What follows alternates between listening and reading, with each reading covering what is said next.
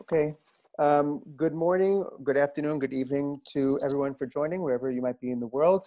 Um, I hope your family is safe and healthy during this time. Um, thank you for joining today's uh, webinar, uh, joint webinar uh, between Illusive Networks and Enterprise Strategy Group.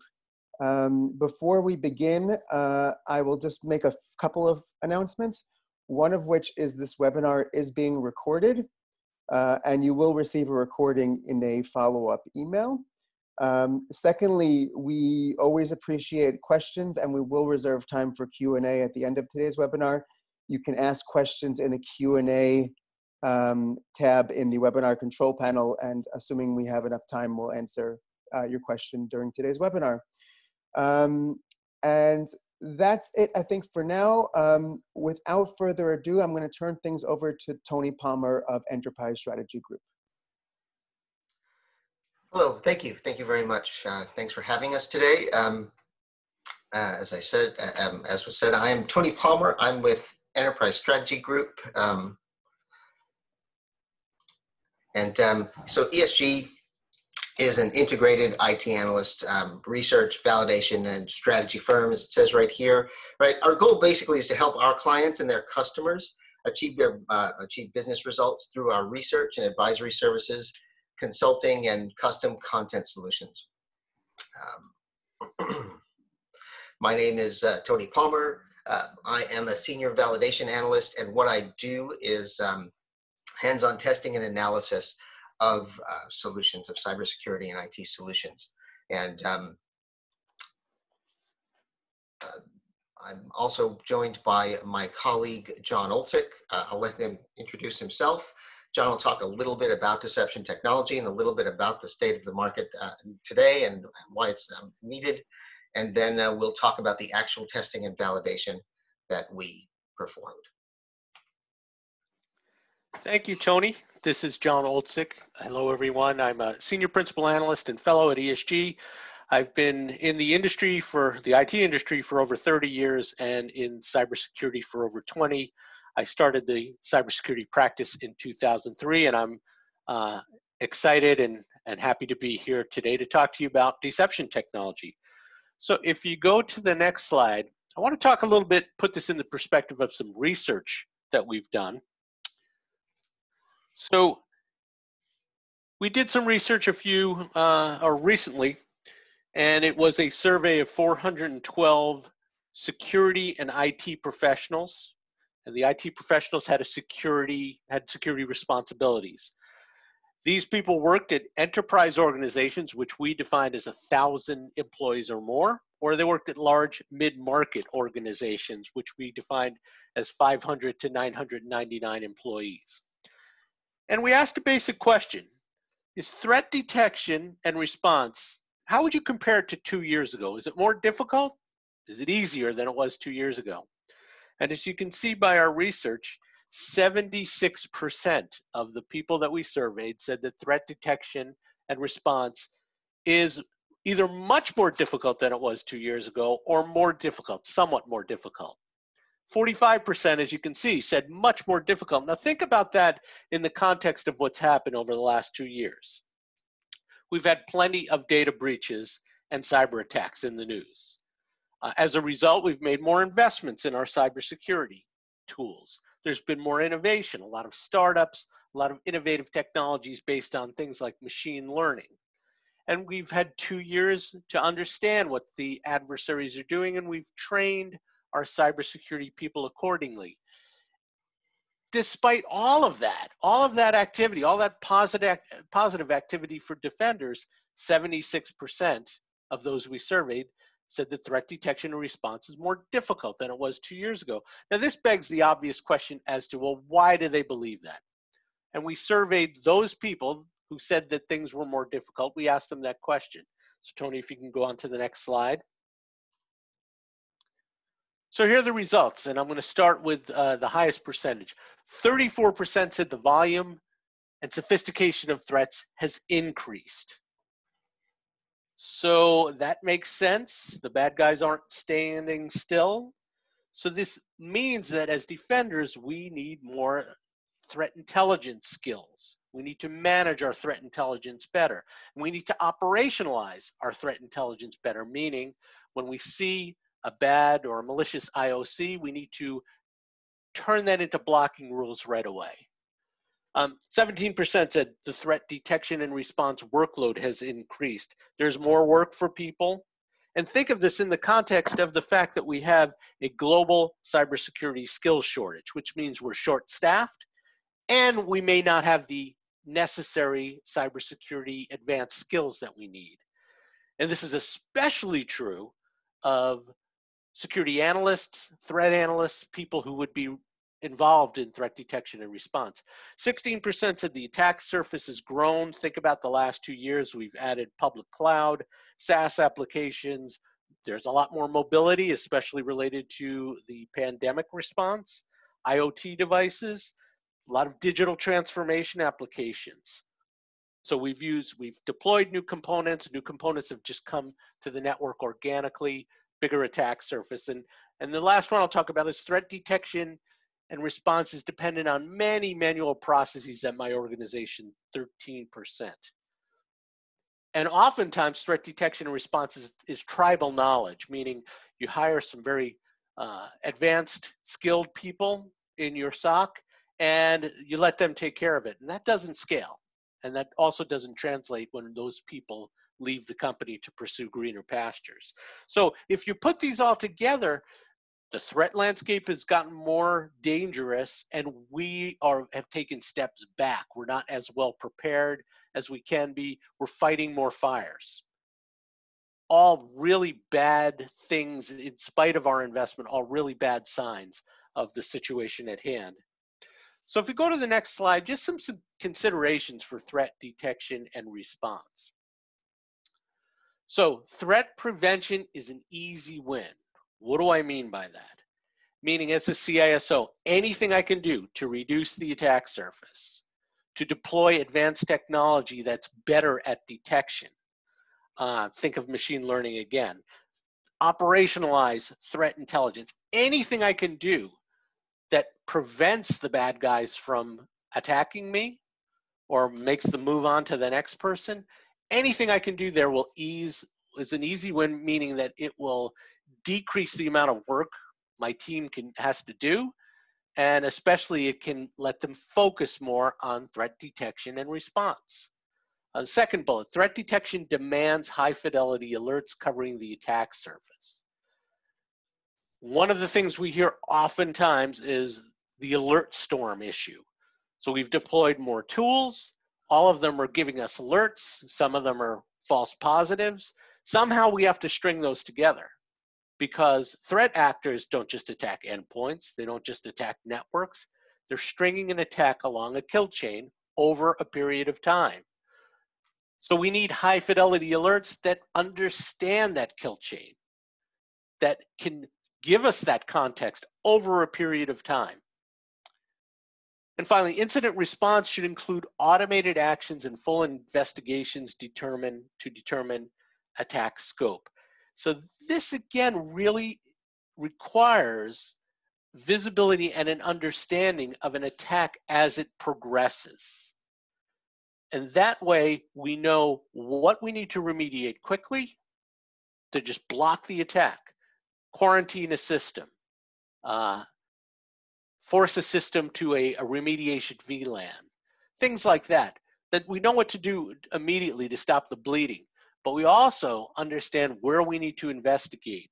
So much more deep forensic investigations, uh, retrospective investigations to understand the scope of an attack, which systems may have been impacted, what the bad guy did when they were in the network, and what we can do then to uh, stratify or uh, increase our defenses so that we can prevent the next similar attack. So now what does all this have to do with deception technology? If we go to the next slide, uh, there's a famous quote from my old friend Bruce Schneier. He said years ago, security is a process, not a product. And what he meant was there was a lot of money being spent on firewalls and money being spent on IDS, IPS solutions and antivirus software.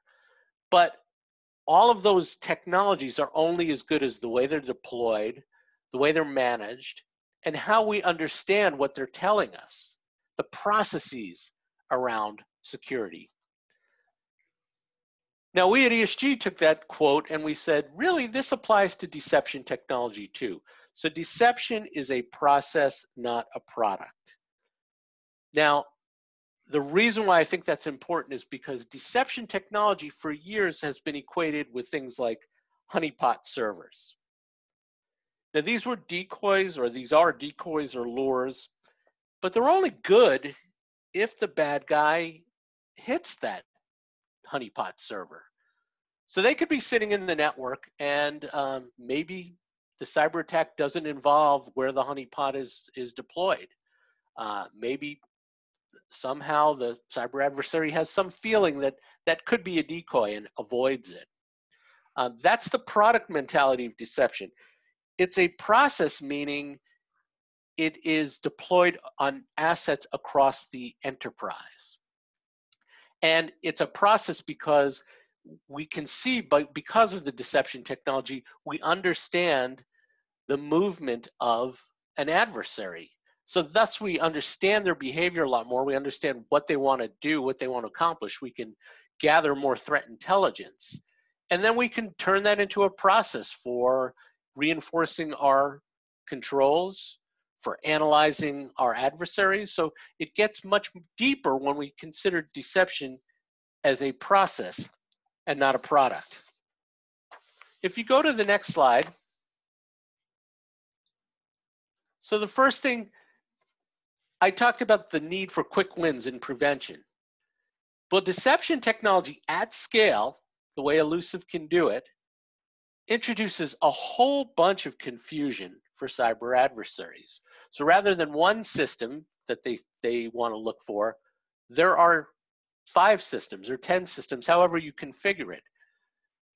So that confusion leads to prevention. It's going to dissuade uh, kind of your average hacker or your cyber criminal. Um, but it will also confuse a state-sponsored adversary. And those are the people who are responsible for the advanced persistent threats, the APTs. This is the line of defense that you're looking for. Um, deception technology can be a foolproof method for threat detection. Well, like a honeypot, if a bad guy hits a deception asset, a decoy, we know that something malicious is happening because no legitimate user would hit that asset. So when we have hundreds of different deception assets on our network, uh, any bad guy that hits it, that should trigger some type of response or alert. And the alert should be pretty rich because the enterprise deception technology infrastructure will be able to trace uh, the path of the adversary as they've proceeded from the first infiltration of the network, first compromise of a system. And finally, high fidelity alerts, source-based forensics and real-time views for incident response. Uh, the alerts will be generated with a series of, uh, of forensic details uh, based on the kill chain. So we followed what the bad guy has done as they've penetrated the network, that alert is very high fidelity and gives us the kind of source-based forensics and real-time view that we need to take immediate action. So the dwell time decreases, uh, our security analysts can be much more efficient and effective because they have the breadcrumb trail from the deception technology. So if we go to, this will be my last slide, the next slide, Tony. Um, here were the reasons why threat detection and response was increasingly difficult from two years ago.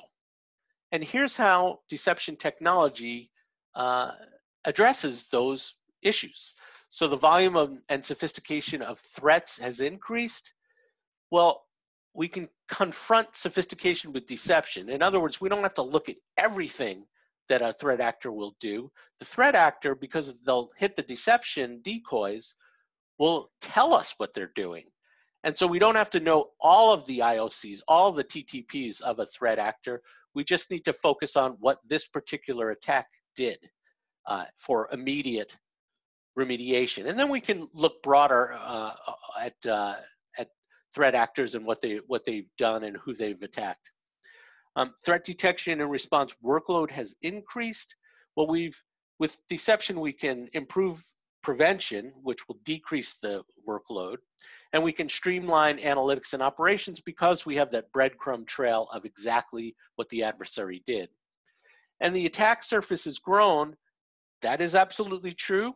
But the deception technology will look at the attack path and not the attack surface. So by doing that, you can focus your attention on, again, what the adversary is doing versus anything that they could possibly do across the attack surface. So thanks for listening in. I'll stick around for Q&A. Let me turn it over to my colleague Tony, who can talk about the uh, lab validation that we did in conjunction with Illusive Networks. Thanks, John. Um, all great stuff, and we're going to now talk about how Illusive addresses those uh, challenges and issues. Um, so we evaluated uh, the Illusive Networks platform, and our main focus was on validating the value of using Illusive attack pathway discovery, excuse me, uh, and elimination to preempt attacks before they occur, uh, using database deceptions that appear genuine and legitimate to protect against and respond to attacks. So also of uh, interest was the efficiency and ease of deployment, scalability, and the management of the platform. So um, I'm just going to dive right into some of the testing that we did. Um, so the first thing that we looked at was automated attack path discovery, and it's exactly like John said.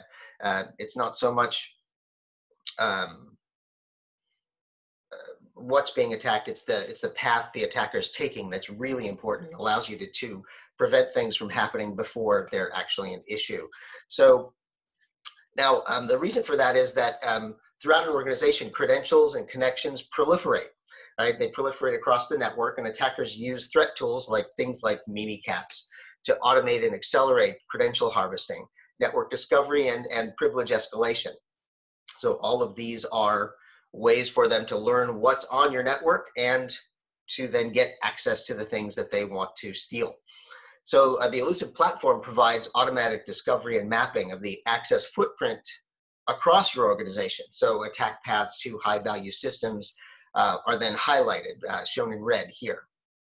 So once the attack paths are identified, uh, Illusive can then remove the conditions that are often exploited by attackers as they move laterally through the network. The Illusive platform also uh, uncovers a, a wide gamut of basic yet frequently overlooked lateral movement paths that attackers use to move from a staging area, um, some um, system that they just happen to land on, um, uh, that's inside the perimeter of the organization, straight to the data that they want to steal, right? Including domain user credentials, lo local admin accounts, domain admin credentials on systems and devices across the organization, uh, shadow admins, saved connections to high value systems, all of this stuff, all of these things are ways that they will use to um, to move across your network and to get higher and higher access till they get to what they what they're looking for.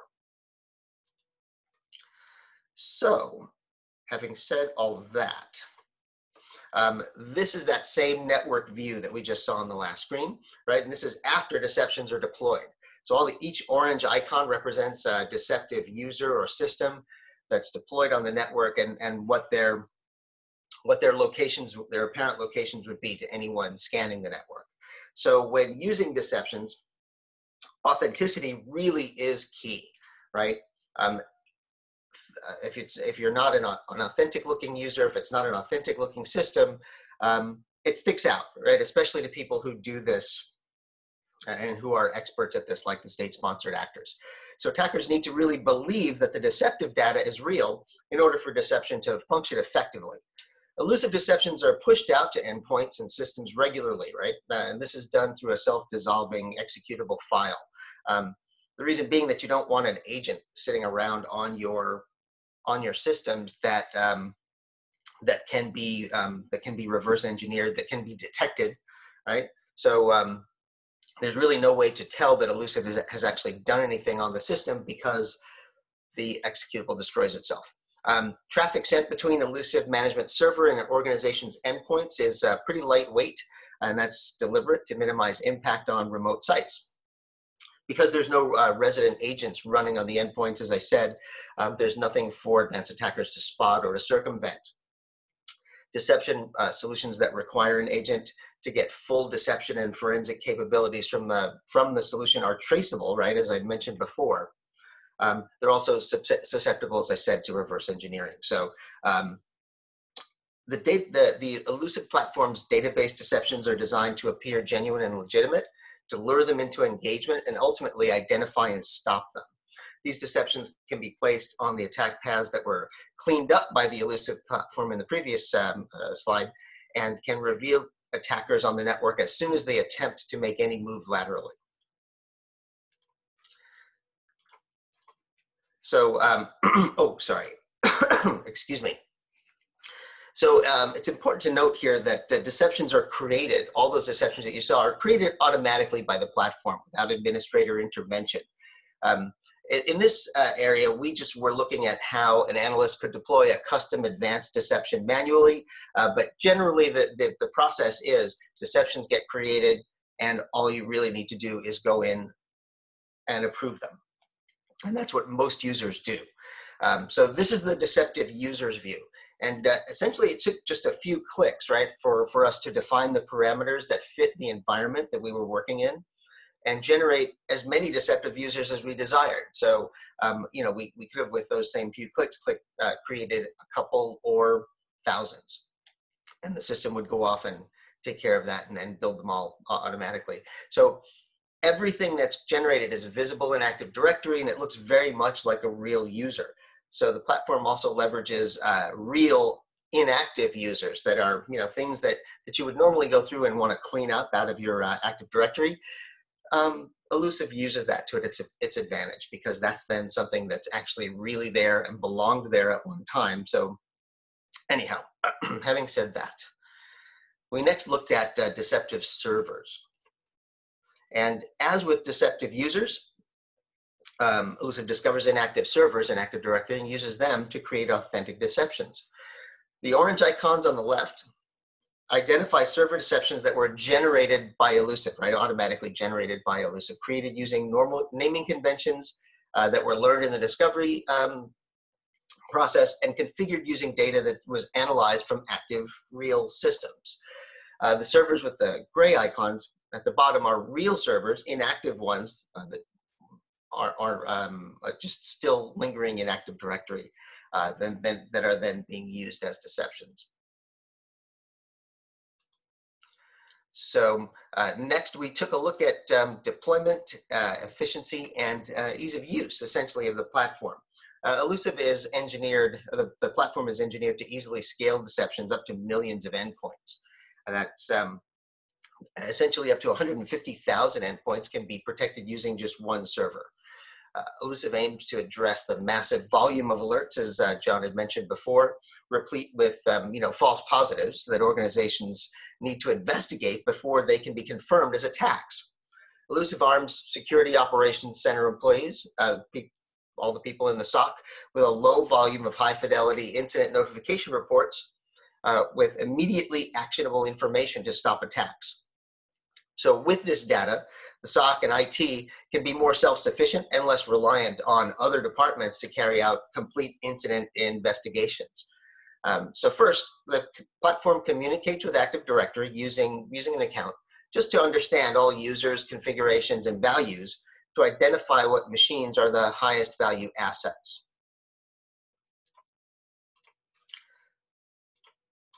And uh, once discovery is complete, um, organizations can set the desired operational method for host access, right? So that's um, can be done through sysinternals, uh, WMI, uh, the uh, SCCM, now the Microsoft Endpoint Configuration Manager, or, or Tanium, uh, all, all those work.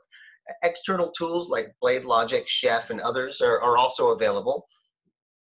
And Illusive provides a parent key to the management server and discovery happens completely in the background. The point and click interface to define policies uh, that are appropriate to each type of endpoint is pretty simple to use. Uh, we were able to assign and unassign policies at will really vast with just a couple of clicks. Although uh, Illusive automates routine functions at scale, right, the platform also allows for human oversight um, as needed. So in, uh, in uh, manual mode. Uh, in, so in manual mode, once an analyst has reviewed the suggested deceptions, they're then deployed through a one-click process. So uh, next we wanted to take a look at what does an incident really look like? So we triggered an incident to observe the forensics and response uh, that are deployed by Illusive to detect and remediate the threat. So this is a, you know, we simulated an actor that was inside the perimeter that had um, um, begun to try to move um, just to see what would happen there. So we ran Mimikatz on a system in the test network and uh, we obtained a set of saved credentials off that system the credentials were essentially indistinguishable from legitimate uh, credentials that uh, had already been observed on the network. So with those credentials, uh, we attempted to log in to SharePoint. So while the system looked like it was authenticating us, uh, that, that looked completely legit, um, what was really happening was that forensics were taken from the endpoint that we were working on, that we were running Mimikatz on, and an alert was triggered on the Illusive platform.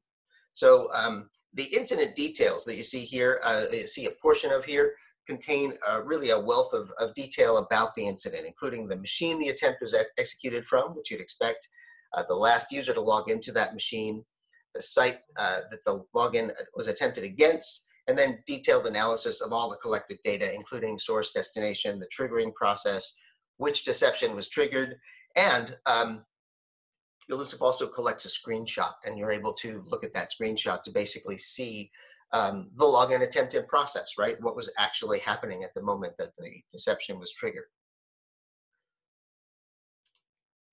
So uh, one other thing that we did after um, we did our testing was talked to two organizations that are actually using Illusive in production in the real world. Uh, two large customers, a US-based financial services organization and a multinational company that uh, works in the en energy sector.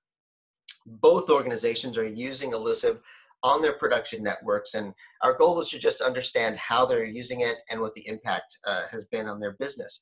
And both organizations uh, told us they were impressed by the ease of deployment, by the deep visibility provided by Illusive, uh, and more importantly, both organizations found that Illusive was able to prevent attacks uh, using deception technology and uh, even uncovering attacks that had gone completely undetected by their existing tools. And it enabled them to stop the attacks and remediate those systems quickly. Um, excuse me. So, uh, and again, these are, you know, we had a, you know, these are um, you know, small, uh, rather medium-sized to a fairly large organization. But again, this 120-seat uh, place is able to do all this with a, a, a very um, compact, efficient footprint uh, from, uh, um, from Illusive as well. And that was something they communicated to us. So why does this all matter, right? What essentially is um, the bigger truth here? So it's clear that most organizations find acquiring um, cybersecurity staff, especially those with the necessary cybersecurity skills, a challenging situation to say the least, right? That's been something that we've been seeing and, and, and hearing from organizations for years and years, right? The skills gap is, uh, is wide. Uh, the skills gap is impactful. Uh, the number of security incidents that businesses must investigate and respond to has been steadily increasing as well, uh, as you saw in uh, John's earlier slides uh, along with all the sophistication and complexity of those attacks. Um, detection tools are generating more alerts, and that makes identifying and remediating modern cybersecurity incident a daunting task. So exacerbating this, uh, the skills shortage is continuing unabated, and um, uh, actually the, um, excuse me, in our last survey, 44% of organizations said they have a problematic shortage of cybersecurity skills. Um, and two thirds said they'll increase their budget relative to last year. CISOs clearly see the need to invest in solutions that make their existing staff more productive, more effective, and more efficient. So we validated that we could use the Illusive platform to deploy deception sensors across the network with just a few mouse clicks. the effort was the same to deploy one or thousands of decoys. Um, the automation and flexibility of the system made it really fast and easy to configure deceptions to mimic the characteristics of existing hosts and users on the network. Uh, so the um, this really comes down to is um, that the Illusive platform utilizes existing network connectivity, requires only minimal configuration of DNS services, and so enables a centralized management process for flat and distributed networks without the need for uh, VLAN or tunnel configuration. Uh, so keeping it very um, keeping it very simple. We found that this speeds deployment, right? It simplifies management, minimizes the number of systems that are required to operate the software. When you take all this together, these capabilities uh, reduce operational staffing and support requirements. It frees up valuable resources for more strategic activities. Uh, Illusive's uh, lightweight database deceptions also minimize those hardware requirements, reduce required maintenance, and uh, eliminate the need for network upgrades. So, I mean, essentially, our our conclusion here is that if your organization is looking to um, to not just uh, reduce the attack surface, but to um, to to supercharge your um, your protection using the power of database deceptions uh, or some uh, um, that Illusive is definitely worth a very close and serious look. So um, that is all that I had specifically on the validation. So I'll turn it back to Illusive. We can spend a little bit of time on uh, Q&A. I really appreciate everyone's time today and uh, having the opportunity to talk to you all. Thank you, Tony, and thank you, Jon, before that uh, from Enterprise Strategy Group. Uh, Nir, you can share your screen when you are ready. Um, I'm going to turn things over to Nir Greenberg, who is the Senior Director of Field Engineering and Customer Success at Illusive Networks. Uh, Nir, over to you. Great. Can you hear me well? Yes. All right. And you can see the screen well as well. Yes. Excellent. All right. So um, I'll speak specifically about um, uh, some use cases that um, a few of our customers, um, you know, experience with with our product uh, to the different uh, capabilities of it. So um, uh, the folks at ESG mentioned things around our attack surface management capabilities and uh, the deceptions capabilities uh, and also the forensics capability. So I'll, I'll try to add some more color into uh, the different capabilities while I'm, I'm talking about the different use cases. Um, so the first use case that um, that I wanted to share with you guys is um, an interesting uh, incident that happened to us at one of our clients. Um, basically, what happened is that um, there was a user that was trying to um, escalate their privileges. Um, and unfortunately for them, they used one of our deceptive users.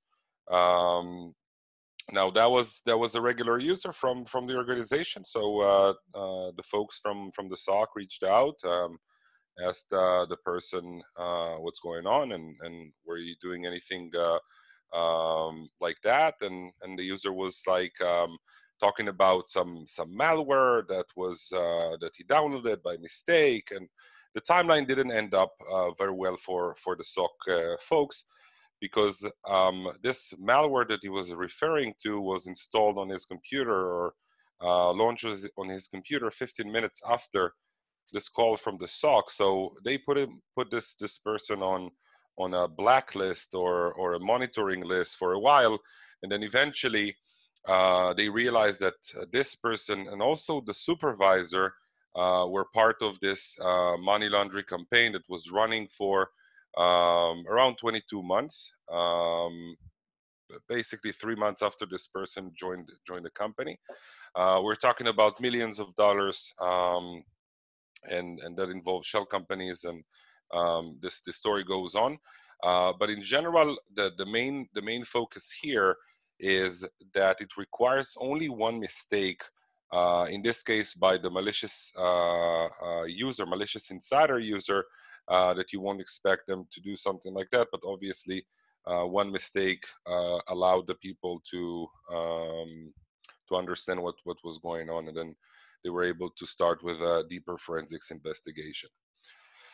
Um, the second use case that I wanted to, to share with you is uh, also around the malicious insider. I mean, these uh, COVID 19 uh, days, we're hearing more and more uh, needs around uh, this use case. Um, and in this specific uh, situation, what we were seeing is that um, this user was, was actually trying to interact with uh, one of our deceptive servers, deceptive share servers in specific, um, and basically downloaded um, a lot of information uh, from our our trapped server, from our our interaction server. So uh, PowerPoints that he downloaded, and, and Word uh, documents, and PDF, and and what have you.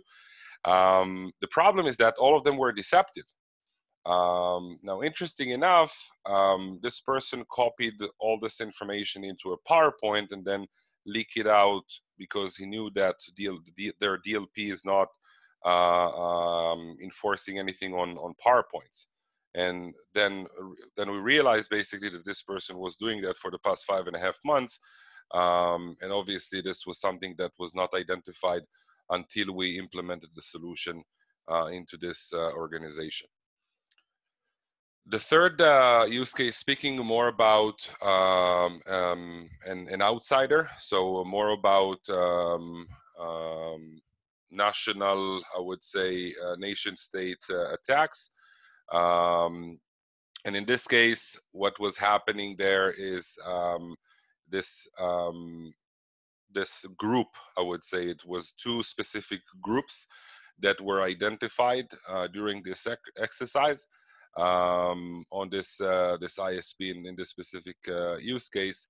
Um, interestingly enough, the the customer was this this uh, organization that we was working we were working with. They were under the impression that they have completely segregated networks.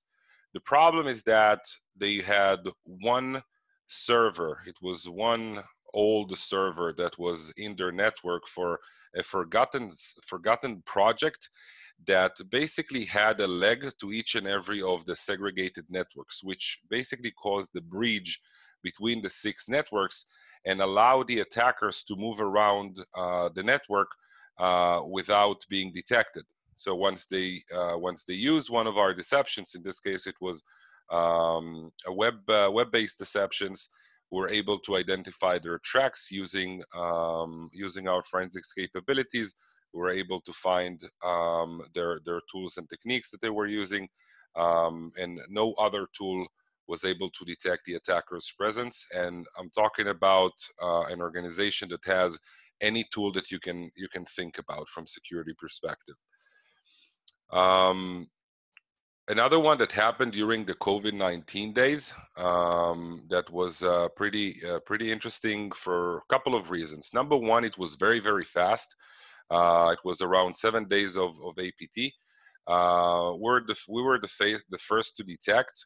Um, so we're talking about um, um, an engagement that we had with with the client. Uh, we're able to to detect this case of TrickBot and, and the Bazar backdoor. Uh, we're able to identify that the attackers managed to compromise 30 machines uh, and six privileged accounts in those seven days. Um, interestingly enough, they started on uh, some uh, server that, that serves uh, the printers uh, in the organization, which is uh, very common. Um, and also, we were able to identify a lot of never seen before tools um, and also provide the IOCs for, for the customer. Um, we were engaged with uh, another IR firm to basically use our ASM and forensics on-demand capabilities because you can actually launch the forensics on demand uh, to any endpoint that you like. So if you have uh, a suspicious that uh, there is a comp- compromised uh, machine, you can actually use our API capabilities using your SOAR or on demand uh, from our console and then get all the information that we collect uh, that the folks at ESG mention about network information, um, MFT data, PowerShell history, command line history, and so on. Um, and that was all around um, uh, trying to, to, to run um, a full ransomware campaign on, on this organization. And interestingly enough, everything was related uh, to a phishing campaign uh, around the COVID 19. So termination letters uh, and, and so on and so forth. Things that are, are not so easy to identify as, as an actual phishing, uh, phishing email. Um, the last the last use case that I do want to share with you uh, is is not about malicious activity, but it is more around mistakes that we do um, as as people in the organization. Um, so from from our perspective, um, when there is a, uh, when there is a user that is uh, accessing a certain server and supposed to do their job, um, and by mistakenly uh, doing something else, this is also not good for this for for the organizations. In this case, what happened is that um, we were able to reveal a connection that was coming from two specific servers within the organization. One of the servers was um, uh, was marked as a crown jewel uh, because it it hosted um, federal classified classified federal uh, data. Um, and basically, what happened is that by mistake, um, the the two developers that were working on on the other server uh, were actually copying um, classified data by mistake. Uh, luckily for them, they were able to prove that they, they didn't use this data or they didn't open it. It was just for uh, backup purposes, if I remember correctly, um, and, and therefore were able to identify that there was um, a misconfiguration um, on, on the organization part, um, and obviously could lead to, to a data breach. And all of that could, could have been uh, identified by our attack surface manager visually from, from the map itself.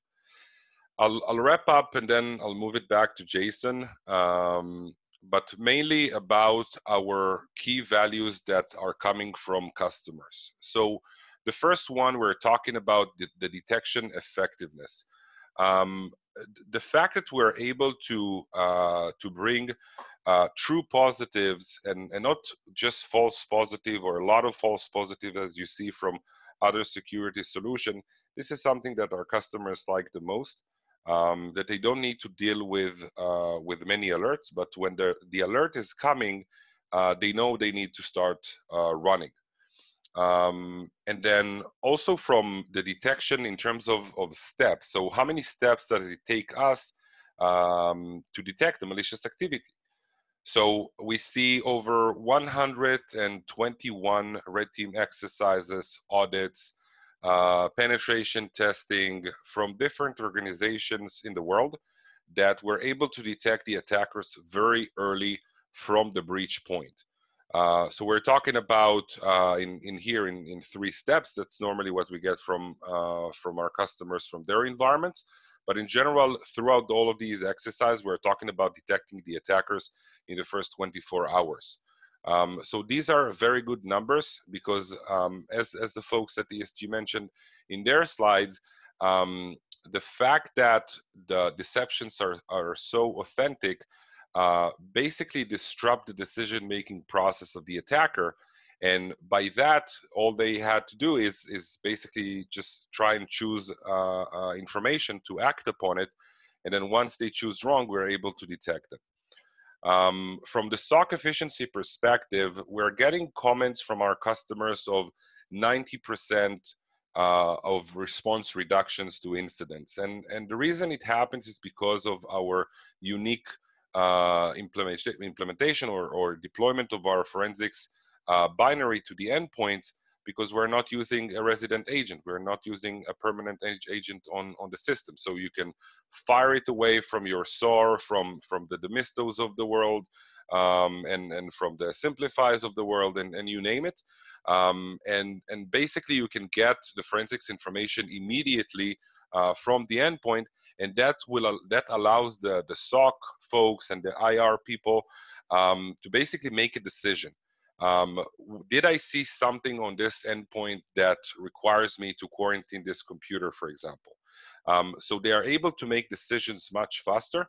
and we're able to the, the comments we got were uh, 90% so from six hours to, to minutes of investigations and, and response and then the second comment was around 75% uh, of, of uh, response reduction to, to incidents from another organization um, the attack surface reduction speaks about uh, attack surface manager.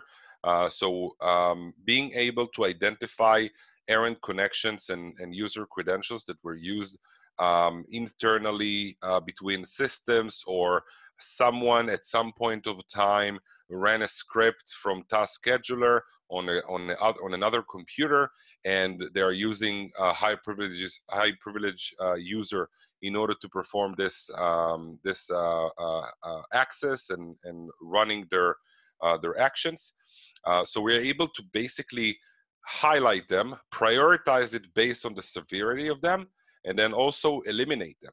We can actually remove uh, connections, uh, disconnected RDP sessions, for example, users from credentials, uh, uh, Windows Credentials uh, Manager, um, and connections to the cloud, identify connections between the on-premise domain and your Azure domain, for example.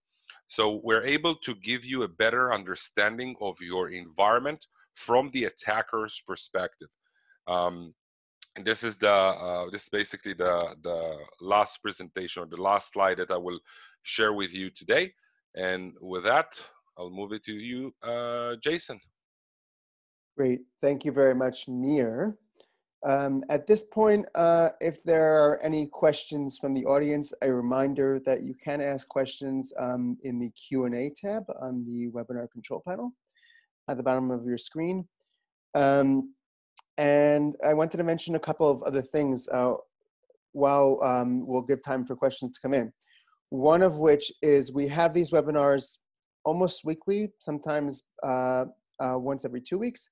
Um, we have a webinar coming up next week on SOC efficiency, uh, and we will uh, be sending out an email uh, soon and doing some promotion on that. So if you can join us, that would be great. Secondly, um, the ESG technical validation uh, paper that was referenced in today's webinar um, is available both on our website, but also we'll send it to all registrants of this webinar in a follow-up email so you can read the full report. Um, and you can also watch the recording as well. Um, so there are just a couple of questions that came in. One was, um, Jon, maybe you want to take this one, uh, but it was talking about that there's different types of deceptions, as you mentioned. There's like uh, decoy servers, and then there's, you know, endpoint uh, deceptive data. Um, just what the benefits are of both, or where when you might use uh, different use cases for when you might use each? Sure. Um, so the traditional honeypot server is just that, it's a server. Uh, most of the time those were deployed for research purposes. So, and they still are. So anyone who's doing threat intelligence gathering probably has honeypots deployed throughout the world uh, on somewhere on the in data centers on the internet backbone. Um, in, a, in an enterprise environment, uh, honeypot is probably still used for research purposes, but may also be used to deceive as a deception decoy that mimics a server. So for instance, a database server. Now that's a good technique, uh, but it assumes that that's the target of the bad guys. Uh, we know that cyber attacks most often emanate through some type of uh, exploit of an endpoint Typically, that's either via the web or email, and a lot of it is due to phishing or social engineering. So therefore, if you instrument endpoints with deception technology, you're likely to catch the beginnings of an attack.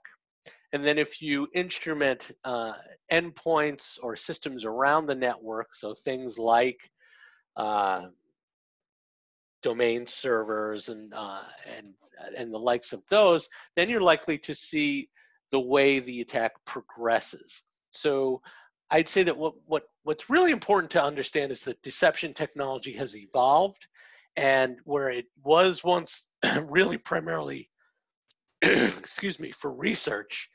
It's now more for um, threat detection and response efficiency for the SOC.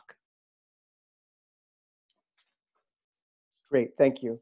Um, we had another question about, do we know of, maybe, maybe Nir, if you wanna uh, tackle this one, do we know of any efforts of, um, of attackers trying to detect Illusive deceptions and how easy that or, or difficult that might be?